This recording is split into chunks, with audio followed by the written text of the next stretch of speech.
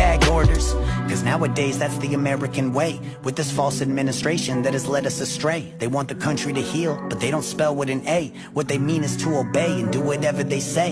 But we tired of that. So when I'm here to rap, I got a duty to the people to bring light to the facts. Never see a day I'm taking it back. If I gave a shit, then I'd use a mask for wiping my ass. When it comes to the shot, I don't care if you got it. Why you care if I didn't? I'm not understanding the logic. Shit, it's such a hot topic, you can I just got my eighth booster, fucking round of applause. People scared to say it, so they just say nothing instead. So let me make myself clear so they don't twist what I said.